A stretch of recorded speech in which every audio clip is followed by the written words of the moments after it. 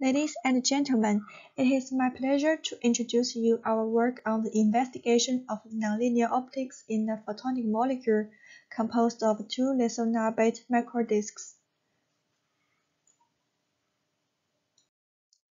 First of all, I would like to show you the fabrication technology of high-quality lithium niobate nanophotonic structures.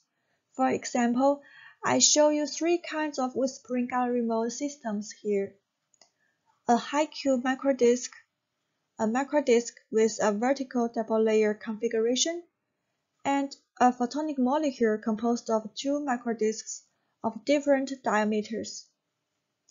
All of these structures are fabricated in three steps. First, femtosecond laser ablation.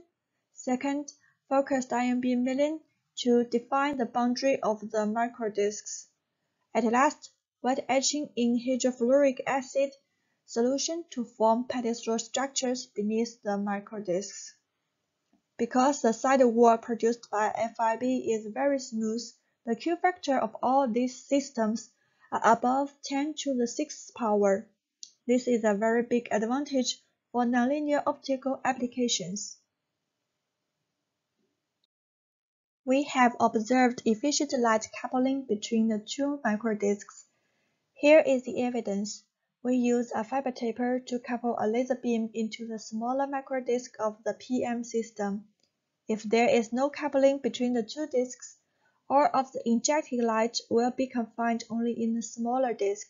However, in our experiment with a pump laser at a wavelength around 1565 nanometers, we observed strong emissions from both the large and the small discs in the visible region.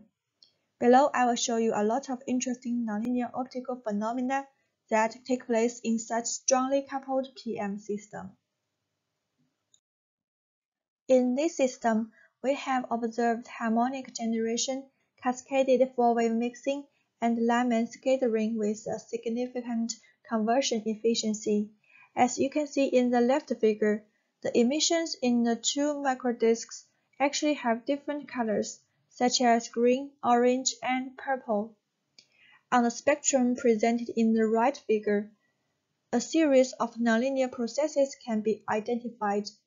This is quite unusual because we cannot typically observe such rich phenomena in a single microdisk. So there must be some unique physical mechanism behind this novel observation.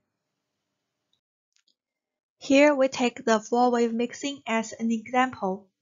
First, we consider only one disk.